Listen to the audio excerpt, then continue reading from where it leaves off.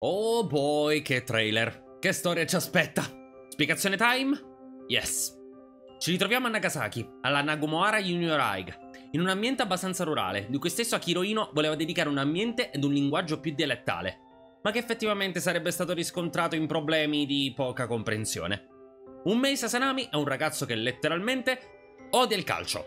Dovrebbe sparire dalla faccia della terra. È l'esatto opposto del protagonista classico di Nazuma Eleven. Abituati agli Yes Men, ora invece... Cioè si sta ribaltando la situazione! È un nuovo studente alla Nagomoara e dopo aver conosciuto alcuni suoi compagni di scuola si ritrova in una colluttazione con Suruga Yagyu. Con all'interno di tutto ciò la questione del campo.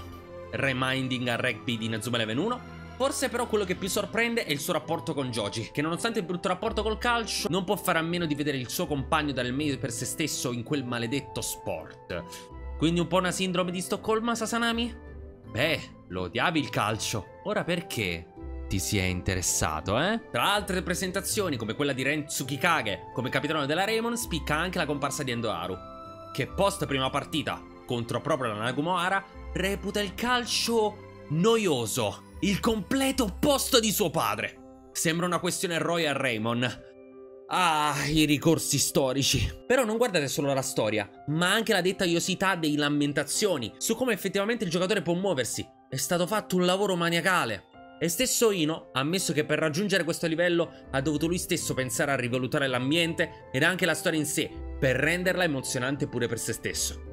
Inoltre ha dovuto pensare alle voci, ha dovuto fare 35 diverse audizioni per le voci di Sasanami Haru, ma finalmente ha trovato delle voci perfette per loro, che verranno presentate all'Inazuma Walker del 23 settembre.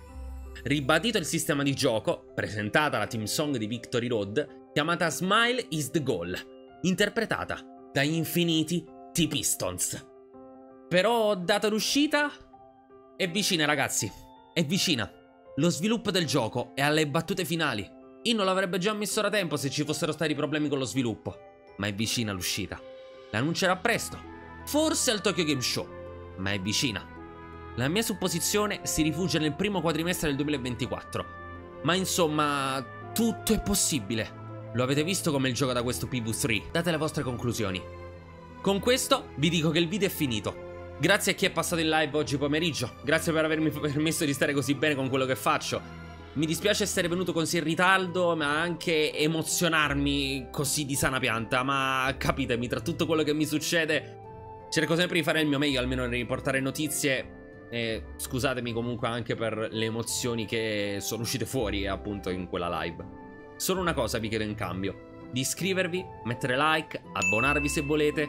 E insomma, ci vediamo nei prossimi giorni con tante altre notizie da analizzare. A presto!